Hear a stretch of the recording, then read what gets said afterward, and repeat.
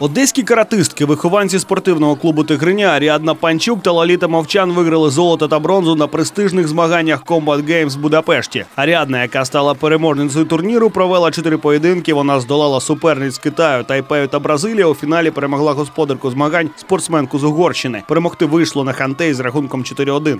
Меня научили всему, что я сейчас умею. А, Тренера очень поддерживают.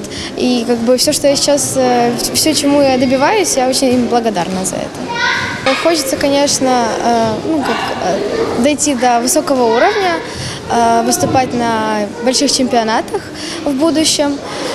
Приятно заниматься с, ну, с такими хорошими спортсменами.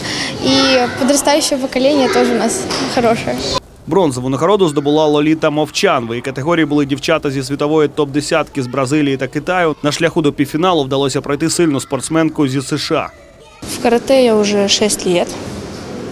Мой тренер Игорь Негатуров. Э, Ну, он очень сильно меня поддерживает, и я могу сказать, что он мне заменил, в принципе, родного отца, потому что он очень много делает для меня, в принципе, как и весь клуб «Тигренок». Э, Расскажи, к чему ты стремишься, какие сейчас планы, задачи ты перед собой ставишь, каким турниром будешь готовиться, тренироваться. Насколько приятно заниматься вообще на тренировках с подрастающим поколением, с маленькими еще девочками, которые только стремятся вот э, стать такой, как ты, чемпионкой.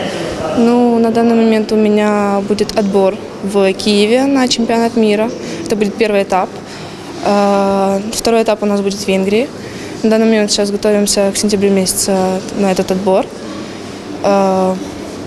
Э, Ну, а с подрастающим поколением тренироваться очень весело, так как ты как бы учишься даже у малышей некоторым, ну, чего-то ты учишься у малышей, поэтому, например, вот? ну, наверное, смекалки больше. Зі спортсменками самого дитинства займалася ціла команда сильних тренерів. Брати Негатурови кажуть, розглянути потенціал у починаючих каратистів нелегко. Головне прививати любов до виду спорту та правильне відповідальне ставлення. Через плідну працю на тренуваннях результат прийде.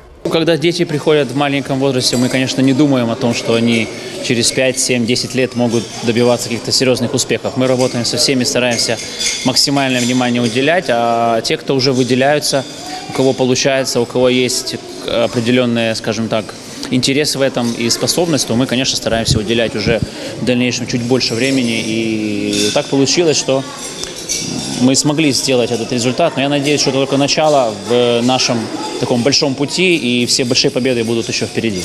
Ну, сами девочки более целеустремленные вообще, в принципе, во всем.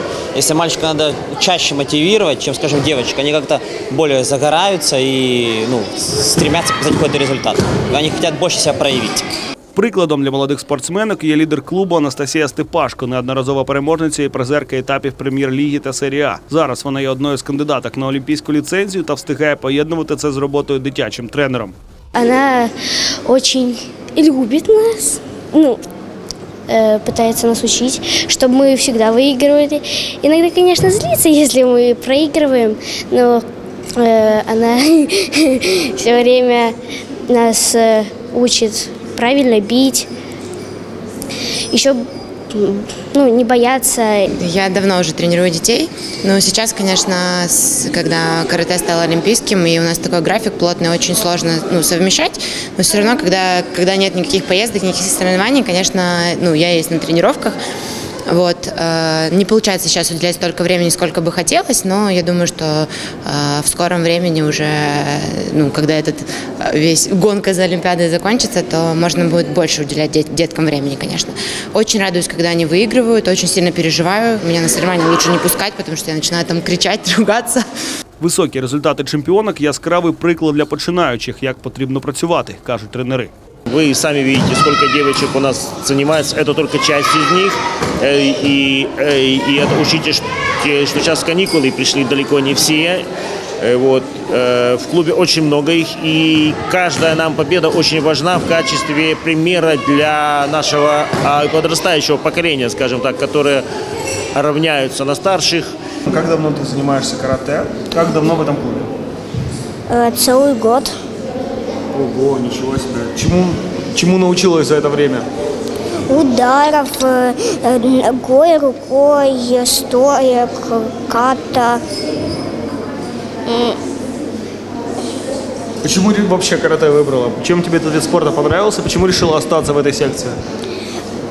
Потому что карате, чтобы защищаться. Меня учат делать удары и тренироваться, и бегать. Мне это очень нравится. Я попала, потому что я хотела стать и сама себя защищать. Тепер у планах спортсменів виїзд на юнацький кубок світу у Хорватію. Потім пройдуть збори в Чорногорії та Сергіївці. А вже у вересні розпочнеться щільний графік серйозних турнірів різних рівнів.